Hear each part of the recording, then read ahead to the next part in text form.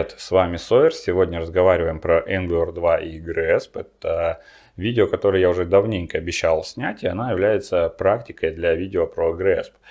Прежде чем я покажу конкретно на работе с Angular, что и как выглядит, э, хотелось бы поговорить о важных архитектурных моментах. Вообще вот в этих видео по архитектуре я хотел бы затрагивать важные архитектурные вещи, которые помогут вам выработать свой стиль, свой, ну, скажем так, вкус в архитектуре.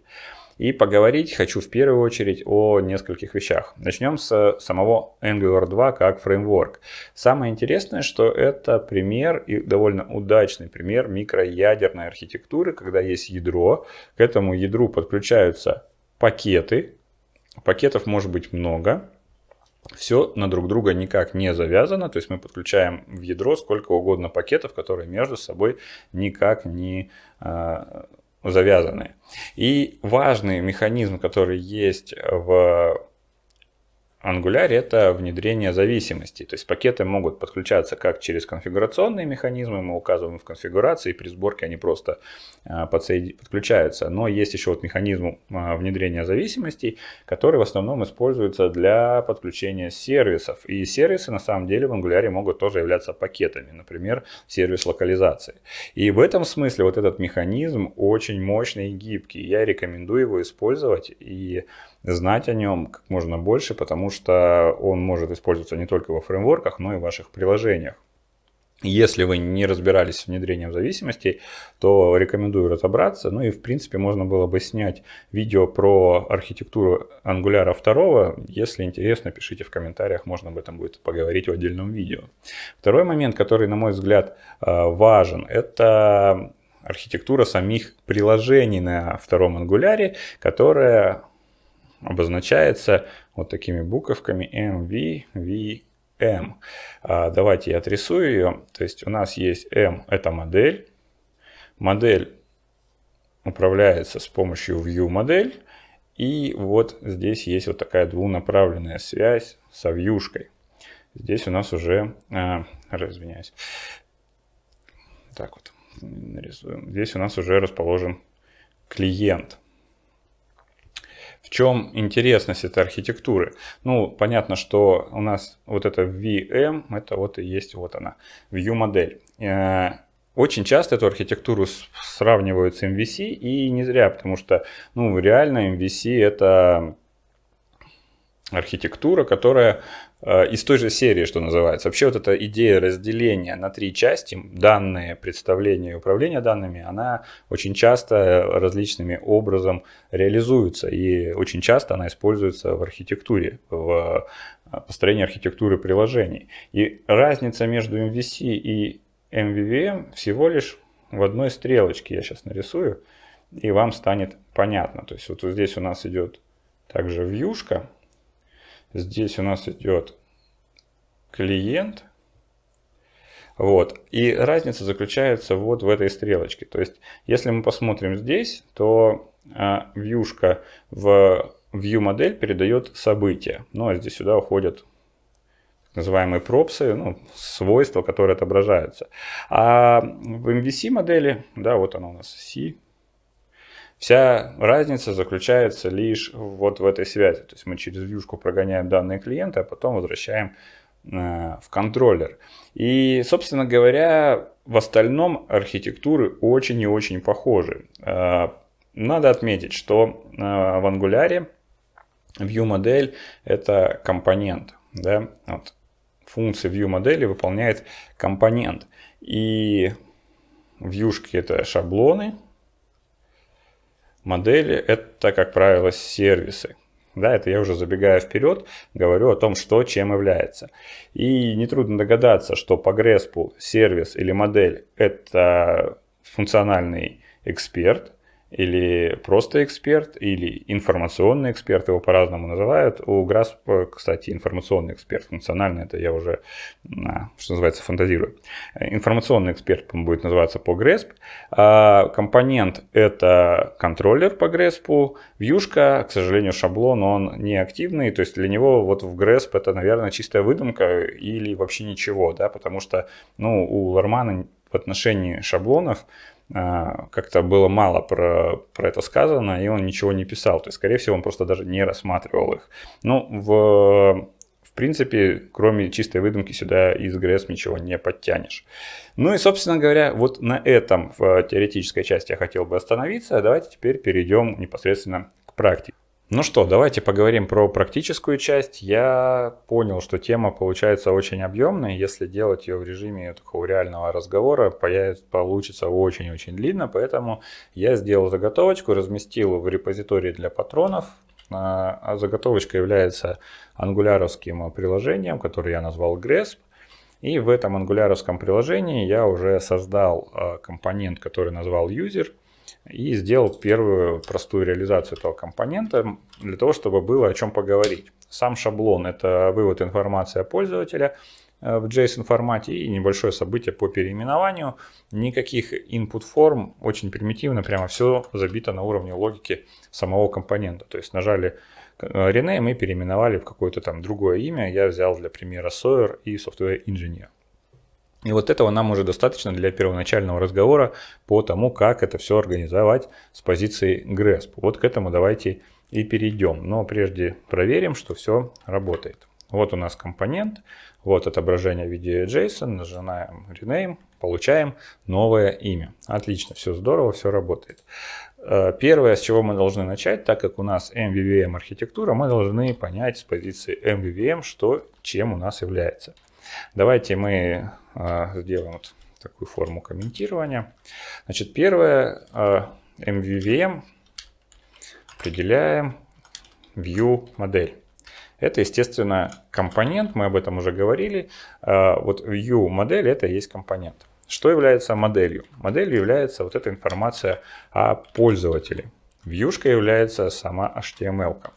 То есть с позиции MVVM мы видим четкое разделение. Сразу нам бросается в глаза, что модель является частью view модель. Это уже неправильно, мы это уже понимаем. Теперь давайте посмотрим на это дело с позиции GRESP. А, как я уже говорил, в GRESP я выделяю 5 а, ролей, и в данном случае роль, очевидно, контроллер. Дальше идут три принципа, которые мы должны применять на каждом компоненте. Это принцип полиморфизм, который говорит нам о том, что необходимо выделять э, интерфейсы, через которые проводить изменения. В данном случае ничего подобного не сделано, то есть не выполняется. Зацепление. Вот э, в данном случае э, зацепления на другие компоненты пока нет. То есть мы вообще ни на что не зацеплены, кроме ядра ангуляра. То есть нет, ну или низкое, то есть очень низкое зацепление. И связность. Связанность – это сфокусированность на какой-то одной задаче. А, так как у нас модель контроллер, то у этой модели единственная обязанность – это управлять, а, передавать управляющие воздействия по изменению данных. А в нашем случае мы получаем, что мы и инициализируем пользователя, и переименовываем его, то есть выполняем все. Выполняем функции, связанные с обработкой данных, с отображением, с подготовкой. То есть связность у нас низкая, что тоже неправильно. Связность должна быть высокой. Мы должны быть э, сфокусированы на одной цели. Окей, проведя первый такой анализ, мы сразу понимаем, что у нас контроллер выполняет еще и функции информационного эксперта, потому что вот эти все обработки данных – это явная функция информационного эксперта. Плюс содержание моделей внутри контроллера тоже говорит нам о том, что у нас есть проблемка, а, связанная с распределением обязанностей. Следовательно, что мы должны сделать? Нам необходимо первым делом а, вынести модель. То есть у нас не должно быть модели в данном компоненте. Вот давайте к этому сейчас и приступим. Теперь нам нужно выделить модель в отдельную сущность я уже это сделал, вынес интерфейс, э, вынес тот код, который отвечал за инициализацию данных и переименование. Теперь нам нужно отрефакторить компонент на использование данной модели. Э, это делается просто. Добавляем сюда user модель, которую я только что создал. Э, user модель. Так, теперь у нас юзер становится полноценной моделью. Так, здесь мы ее создаем. Так, а здесь мы просто переименовываем. Так, а, пересобираем все, пересобирается, проверяем. Самое важное проверить. Значит, загрузилась наша модель, мы видим вот по этой части это, нажимаем Rename, да, все работает. Но мы видим, а, что у нас есть некое нарушение работы контроллера. Контроллер должен определять, какие данные передавать в модель для изменения. А у нас получается, что это сама модель э, определяет. Поэтому вот здесь должен остаться э, новый, остаться новое имя для переименования. Окей, э, поправим сейчас модельку, чтобы это было уже с позиции контроллера правильно. Что получается? Получается, что вот сюда нам нужно name подставить.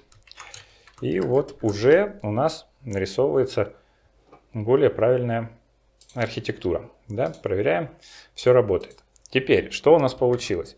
А, выполнив такой рефакторинг, мы вынесли модель, следовательно, мы убрали двойную роль у компонента, он теперь стал контроллером, он управляет данными, инициализирует данные, но как э, это реализуется, он за это не отвечает. То есть это уже не его функция. Дальше мы ничего не сделали с полиморфизмом, но мы добавили зацепление. Но добавив зацепление на user модель, мы смогли повысить связность. То есть теперь у нас контроллер сфокусирован на своем основном деле, а, на том, что он управляет данными. Окей, а теперь давайте проанализируем модель. А, сделаем это следующим, точно таким же способом. С позиции MVVM это модель, с позиции GRESP это информационный эксперт. Дальше полиморфизм принцип GRESP, да, полиморфизм. Нет, не используется э, зацепление. Нет. Э, связность высокая. Что э, здесь нас беспокоит? Нас беспокоит то, что несмотря на то, что вроде бы как нет ни зацепления, высокая связность, у нас нет полиморфизма. То есть мы никаким образом не используем никакие интерфейсы, не готовим этот класс к повторному переиспользованию. Но мы, как инженеры, понимаем, что данные из воздуха не берутся, и в реальной жизни у нас был бы источник данных. И в реальной жизни у нас э, модель пользователя должна была бы реализовывать интерфейс по созданию, удалению, чтению данных.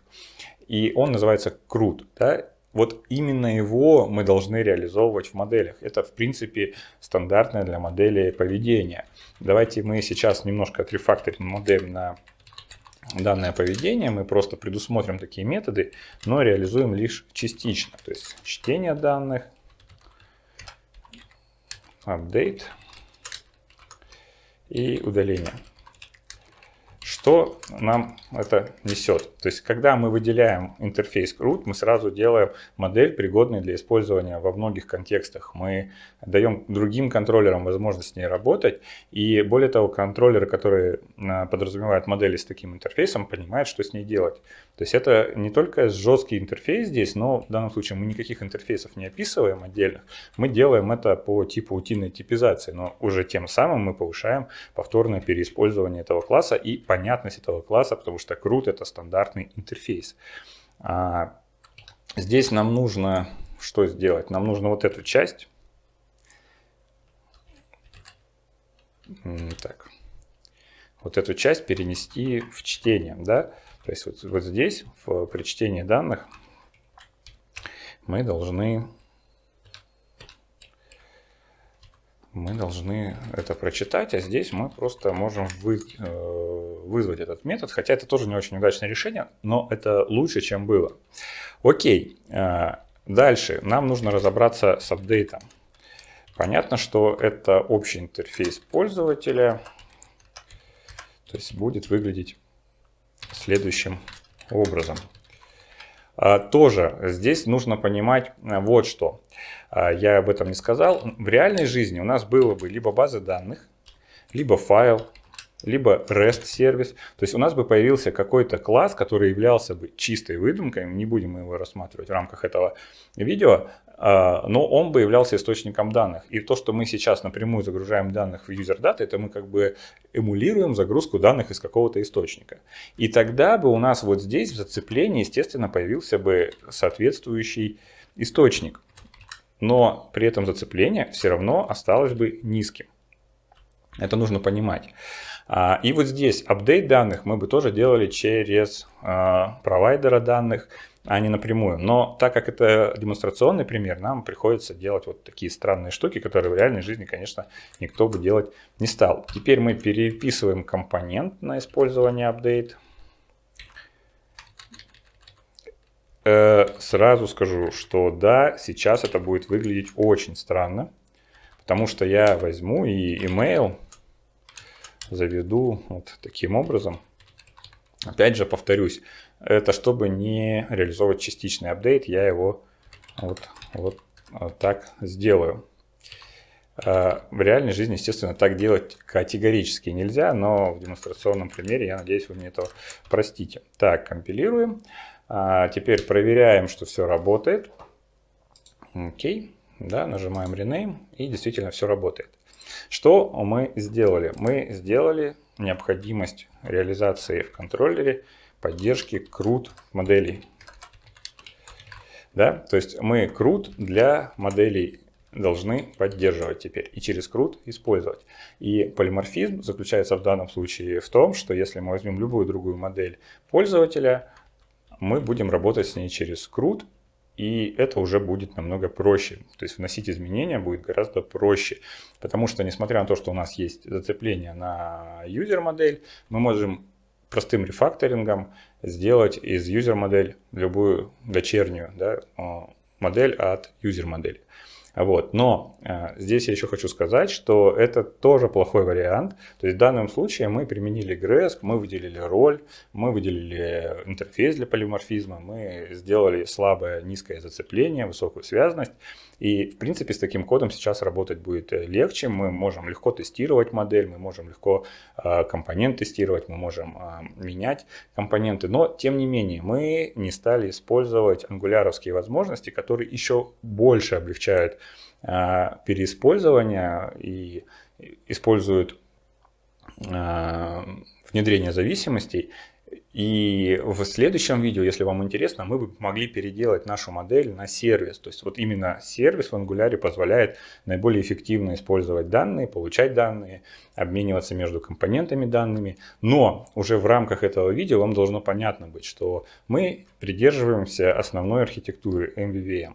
Да, в данном случае мы ничего не знаем про нюансы Angular и делаем там, классическую модель. Мы придерживаемся GRESP, не навешиваем ролей больше, чем следует. Мы придерживаемся принципов, которые есть в GRESP, полиморфизм, зацепление, связанность. И тем самым мы повышаем нашу программу а, к повторному переиспользованию. И если интересно продолжение этой темы, мы можем сделать это рефакторинг на сервис и посмотреть, как Angular 2 позволяет через сервисы э, красиво все разруливать. Но на этом пока все. Если вы хотите продолжение, пишите в комментариях. Спасибо, что слушали. До свидания. Надеюсь, вам стало более понятно, как можно использовать GRESP на практике.